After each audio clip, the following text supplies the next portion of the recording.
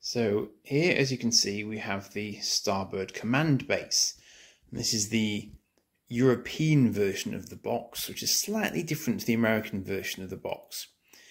And I picked this up from eBay, not knowing whether or not it was going to be um, a complete version of the kit. And as it turned out, it wasn't. However, I also had this. And this little collection of bits and pieces of the same set came from Germany in a German box.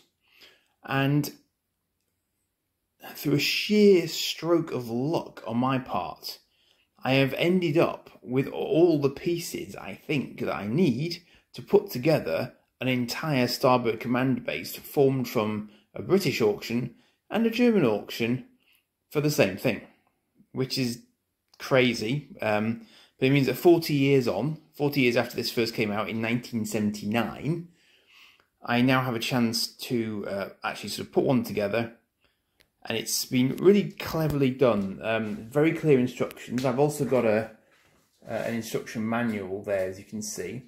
a few pieces seem to have been pre-made originally, but the rest is just folded cardboard, which is ingenious because if you knock it over, you can't smash it, and yet you can pack it all the way into a, one of sort of MB Games standard boxes, which is very, very clever. Um, great sort of space saving technique, but they've gone to a lot of effort with it because, as you can probably see, there's a lot of detail. The the imagery on it is really, really impressive. It's not sort of it's not cheap and nasty at all. Someone's put a lot of thought into this, and the other really fascinating thing about this is that the box itself, the outer box, is actually part and parcel of the base. So if you look at this image on the back of the box, can you see between these two support struts, there is actually something else. And the something else is this box. Because on this, the top of this box here, I noticed it as soon as I got it out from the, the top level of the box, there's loads and loads of detailing there and text. And I just thought, that can't be throwaway, surely, because that's a lot of effort to go to rather than just having a blank box. And as it turned out, of course, it's actually um, part of the, the toy itself, which is a very, very clever, simple, creative idea on their part. And it means nothing, virtually nothing of the, the material goes to waste at all. So you can see here, it's really, really straightforward. It tells you fasten control tower here, interceptor landing deck area. So it's telling you exactly where to put stuff, even if you don't have the actual instructions. This is the a ramp section, which I, I've seen is often damaged in the um, in some of the other auctions that I've followed, but it seems pretty minty in my version, touchwood. Um, it's a little bit it's a little dirty, but it's actually not bad at all. And this is the area where the um, the Space Avenger would, would actually sit. So that's so it's actually got a sort of defined landing zone for the um, the Space Avenger toy when it's when it's on it. And you can see, various support struts here, various little clever um, sort of turning um, fixtures. So you just sort of turn them a half turn, and then they'll lock the various cardboard structures in place. I've got a crane there which picks up the little buggy that's in that box. And I've got laser guns over in that box to go on the roof. Um, but without which I would not have had a full set. So I've been incredibly lucky to get all this um, between the two sets. Um, I've got the, the support for the ramp there, which I didn't have in the other box. And I've also got this section here, which is a, a large cardboard insert that goes into this section to form more of a three-dimensional sort of um, tunnel through it. And you can see I'm, it's, it's useful that I've got this, um, this box for reference because it just means I can refer to it and the back of the other box. Now, one thing that I have noticed, which is something something somewhat sort of quirky. If you look at the back of this box, the back has orange laser guns. You can see them on the corner, and it has an orange crane as well.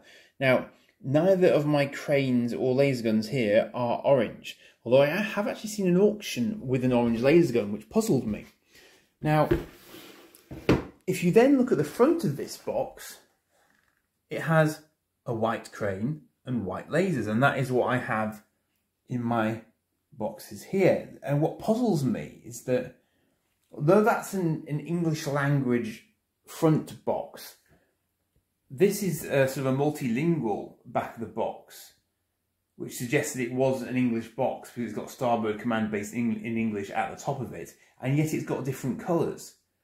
So I do wonder whether or not maybe some other versions of it, maybe the maybe the um, the US version of it had orange guns for some reason, but it's um it's a curious one that I don't know why, and there are other things inverted as well. So, for example, initially I thought this was the wrong part because it was white, but in fact, it is the right part. It just happens to be in white, whereas on the front of the box, in fact, it is consistently orange both there and there. So it's a very curious mashup of of different colour schemes and different schemes of, of, of, of colours on the actual box parts as well. So I'm not really sure what was going on with that, but um, that's how it's come. So I even have some spares as a result of my two auctions, um, which I shouldn't need. So maybe I'll maybe I'll auction off the spares. I don't know.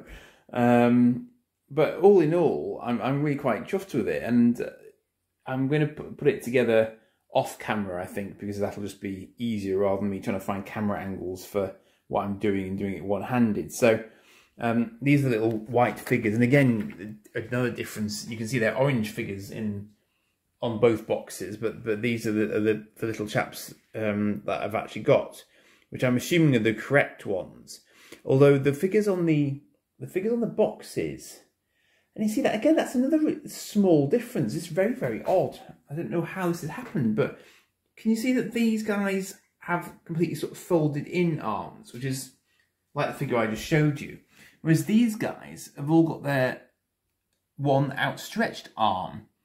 So it's like someone couldn't quite make their mind up and they took pictures at different times in the development of the toy or something. I'm not really sure what the what's happened there, but um, you can see there that this was this was put together clearly at a time when the only the electronic Starbird was was out because I, I can tell just from the picture and obviously from the from the year of release as well that the the Avenger wouldn't have been out yet. So that's the um, the electronic Starbird with the slightly grey interceptors on the wings.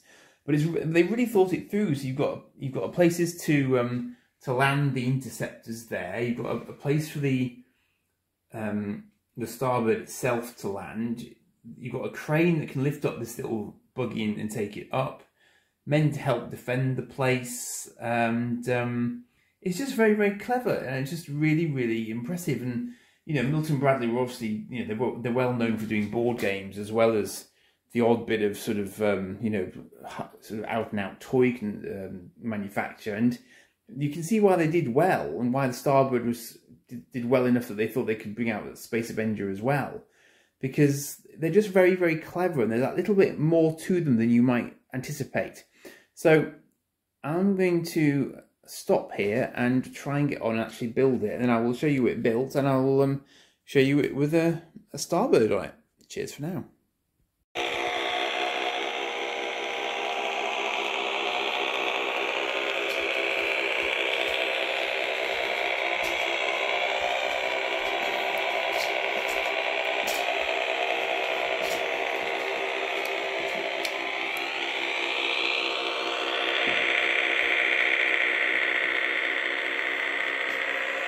It's probably been a very, very, very, very, very long time since a Starbird sat on his command base, but there she is. Crane complete, lasers complete, passageway complete. Not a bad landing, but you say so myself. A bit rusty. And um, the other really neat thing about this, you see, is that they thought about pretty much everything going. Slot one of those off, and they can slot in there. In fact, I suspect I have to cut an, an opening in there. I, I, thought they were open, but obviously not. I have to look into that, but basically, that's where an interceptor would land. That's the idea. I've even accidentally put the right numbered interceptor onto the right landing pad, so there you go. We'll just kill the Avenger off and then I'll show you the crane. This one always fakes me out. I never quite get it all the way off before it. Okay, I might shut it up. It'll probably burst back into life in a second. And there's also this rather cool crane here. And the crane locks onto the little buggy there and it properly winches. He says. And up she comes. See, now, considering I'm doing this one-handed, that's doing pretty well.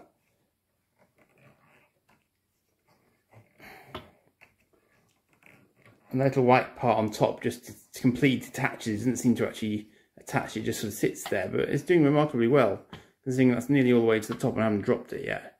So there you go. If I were brave, I'd let it go, but it's still, um, it will whiz down by itself if I, if I let it.